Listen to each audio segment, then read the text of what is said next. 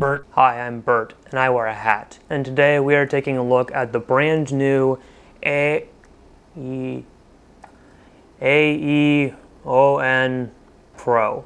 I didn't realize we hadn't fully decided on a name for this blaster. I was calling it the Aeon Pro, but apparently it might be Eon Pro or Ion Pro.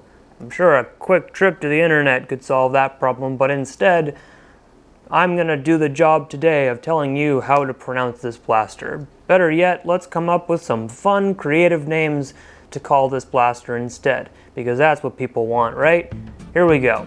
A on Pro, Aaron Pro, A Aaron Pro, A Aeon Pro, E Eon Pro, I Ion Pro, I On Pro, Spamf, Aegon Targaryen Pro, A on Pro, A Yarn Pro, Aurora Borealis.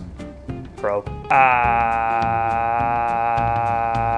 Retaliator, Eggs on Pro, A E I O U on Pro, Ah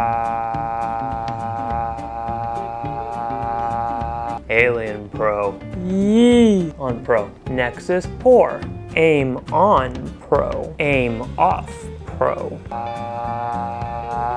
on Pro, A A E O uh.